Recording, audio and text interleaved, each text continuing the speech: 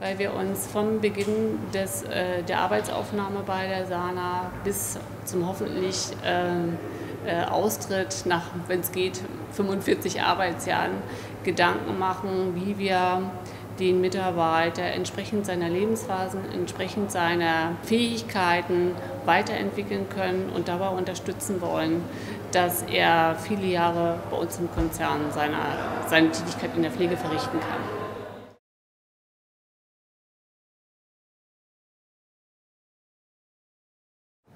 Der erste wichtige Punkt aus meiner Sicht ist, dass wir die Pflege näher an den Vorstand heranbringen.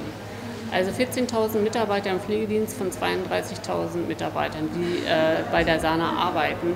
Da ist es auch wichtig, dass wenn strategische Entscheidungen gefällt werden, äh, dass mit dem abgestimmt ist, welche, welchen Blick die Pflege auf diese Entscheidung hat und ob äh, diese, diese Wege auch machbar sind und welches gegebenenfalls welches Standby wir dafür äh, organisieren müssen, damit dieses Ziel dann auch erreicht werden kann.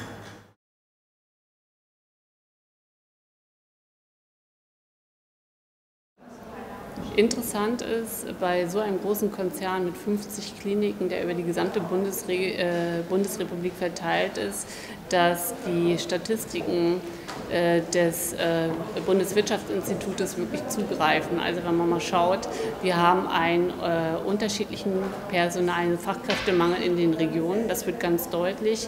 Gerade in den Ballungsgebieten, in denen wir vertreten sind, Frankfurt am Main, Pinneberg, also äh, um Hamburg, Pinneberger Kliniken, Nürnberg und München haben wir große Probleme, auf dem freien Arbeitsmarkt äh, äh, frische Mitarbeiter zu akquirieren.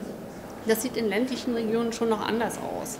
Und deshalb haben wir uns gedacht, wir haben eine einheitliche Personal-Marketing-Kampagne zum Pflegedienst, aber wir haben aufgedockt spezielle Kampagnen für die Bedarfe in den einzelnen Regionen.